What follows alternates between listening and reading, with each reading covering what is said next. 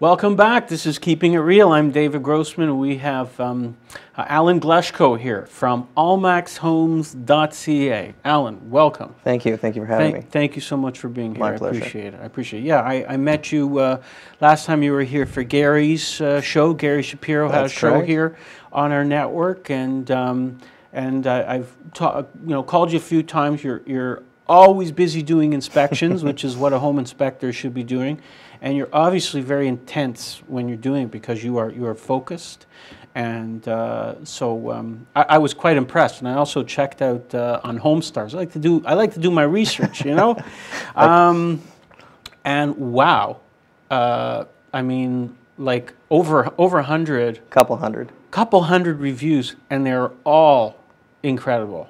Yeah, we, we, we try to go above and beyond. Yeah, so that's so that's really good. So tell us how how did you get into the uh, home inspections uh, business? Um, I did renovations like most inspectors in the past, uh, or there's some kind of formal training an inspector usually has. Uh, I realized I didn't want to. I didn't want to slave deep into my 40s and 50s, continuing on with uh, renovations, and I always had an inquiring mind. I wanted to know well, why am I doing it this way, and I didn't have the right education at the time.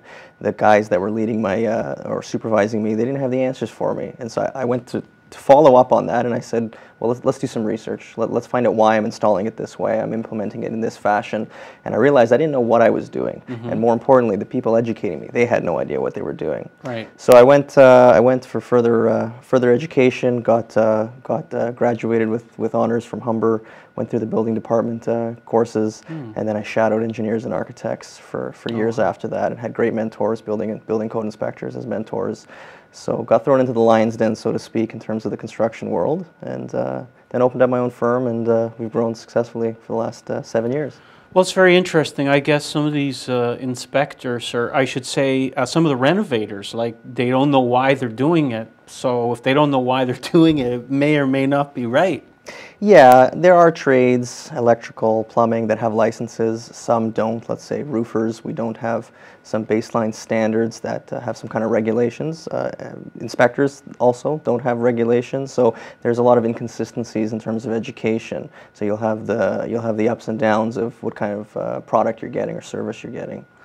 Er- er- earlier in the show, we were talking with uh, Albert Frank, and, and I mentioned this uh, idea. Um, you know, that, well, and he mentioned the two with respect to this uh, cooling unit. Um, but there are, I guess, there are times, uh, depending on the season, you know, there's rain, there's no rain, it's cold, it's hot. That there, you know, there are things that you're going to be very hard to detect. How do you, how do you manage that? Well, we do have our limitations. It's keeping in mind it's a fully visual inspection.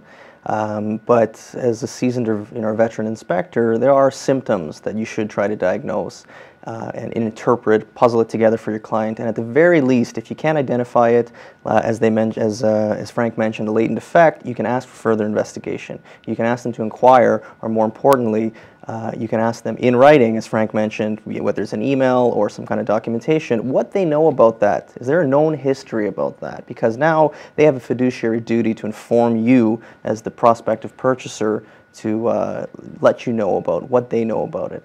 And hopefully they're not masking and hopefully they'll be honest with you. And if not, well then that's when you get Frank involved. Right. Now, um, are there times when you have would have no idea about certain types of problems? They're just not visible. Absolutely. So, being a fully visual based inspection, there are times where vendors will intentionally mask the problem. It's sometimes cheaper to mask it and pray that the inspector won't find it than it is to actually make the repair. So, and you can be, you know, as we learned, you could be held Liable for that. liable for that. So, um, Absolutely. so there, there really are no shortcuts. If you're selling a house and there's a problem, uh, you're better off dealing with it. Absolutely. It's always it's always of the uh, the best intention to be fully open, fully disclose all the problems with the home to the vendors. Uh, that way, they can at least budget for it, and and, and be and the fiduciary duty has been passed. So um, that being said, that's not always the case. People will will find the path of least resistance and would rather mask something than spend could be hundreds or even thousands of dollars repairing it.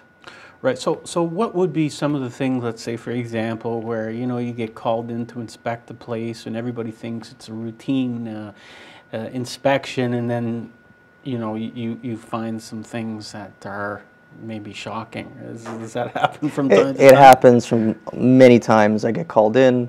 Like one of the parties is saying, "Oh, this is this is a walk in the park. It's it's all brand brand new, great renovations. They mm-hmm. just did it last year." But there's there's not much to it. It's surface value. There's there's there's no, there's no information. They're not disclosing who, what, where, how, why, which contractor. If there's a transferable warranty, it just kind of looks clean on the surface. You dig a little deeper, and you're finding end of life materials, things that are leaking, systems that are failing, and you disclose that and report it, and hopefully the client will act accordingly on either negotiating that or making a sound decision and, and shopping elsewhere.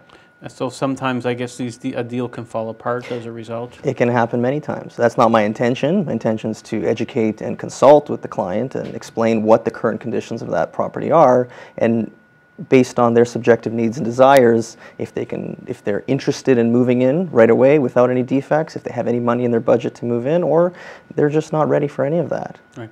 Do you have one of these infrared guns that'll tell you certain things? So what what do people learn from?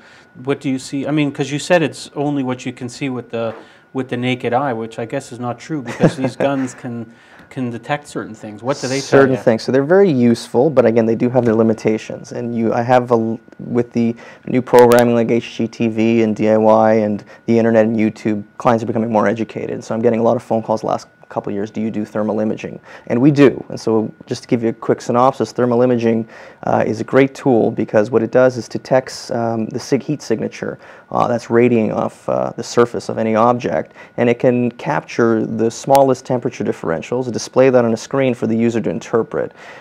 That being said, it's not an X-ray vision. We don't we, we don't have Superman vision with that tool. It has its limitations. It also has its excellent uses, such as identifying heat losses. In some cases, it can identify water problems, and um, also it's vastly used in the electrical fields for uh, overheating uh, electrical conductors. Do you do commercial inspections too, or you Yeah, yes, we do. So we have a commercial inspector on the team, and he does more uh, engineering work. He does uh, larger industrial and, uh, and commercial inspections, and we also do small strip plazas as well too, condo units, sort of. So you'll you'll take on any project, if not use Yeah. somebody else who's. Uh, yeah, we have an experienced team that can handle all sorts of type, all sorts of inspections. How long have you been doing uh, inspections? Personally, I've been doing it for seven years, but our team has close to 90 years of experience. So what so what's next for you? Uh, What's next for me? Well, something that I've already begun is um, much like uh, Keith is the education part, and I do seminars. I teach realtors uh, primarily out of the Keller Williams brokerages, so they're North York and downtown offices. I'm, I have seminars every month teaching realtors, educating them on what they should look for, how to improve their skills, how to impress their clients. Anything from, uh, from young realtors, new realtors, even experienced ones on, on topics from major foundation problems, how to detect uh, marijuana grow ops. So I'm, I've been, uh, been a big advocate of, of educating and furthering other people's knowledge in my how field. how do you detect a marijuana crop? That's a whole other seminar. All right, so education, uh, yeah, I I mean, it makes sense once you have your knowledge, and you might as well share it with uh, with many people. Um, it makes sense.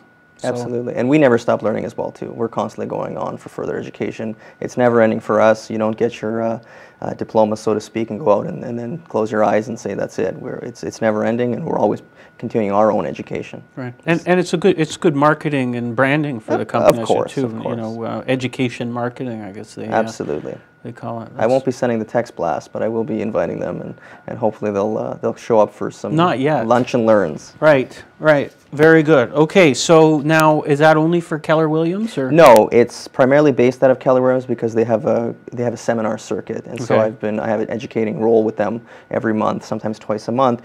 But any realtor is welcome to show up. Um, just check out uh, their seminar circuits uh, on on their website or their their, uh, their educational journals. If you find me, you can find out which location I'm uh, training at, and any realtor from any brokerage is welcome. And I have uh, I have my own list that I mail out, and they come periodically from other brokerages to learn. And there's no there's no ties to Keller Okay. Williams whatsoever. So, so if somebody's watching and they want to attend, and uh, they can just go to the Keller Williams website. Go to Keller Williams website, find the local training in the GTA, and they'll they'll find my name and they'll see what, what time and schedule that I'm that And I'm they can training come at. in- and they come can come in- visit me, meet me in person, learn a few things, Mm-hmm. and have a snack as well. All right. Well, that sounds very good. I might uh, I might stop by there sometime. You're more than welcome. Okay, terrific. And of course, if you need a home inspection, uh, give Alan a call. We've got his no- phone number um, on the screen for you, and uh, the website is allmax. Home.ca. allmaxhome.ca. That's correct. And uh, check out those home star ratings if you if you have a chance on Homestar. Homestars.com. Homestars.com. Uh, Hundreds of them. It's it's unbelievable. Um, the uh, the positive feedback you have out there. Nine point nine out of ten. So I don't know. It must be one guy who maybe gave you a nine, and everyone else gave you a ten. You can't please all you can't please were- everyone. All I could see were tens. Anyhow, thanks so much, Alan, for uh, for coming to the studio. Really appreciate it. Thank you for watching today. It's not too late to get down to the Santa Claus Parade here in Toronto, so uh, you can go check it out. And uh, be sure to be back with us next week on Thursday, two o'clock, right here on All Talk TV. Thanks for watching, and we will see you soon.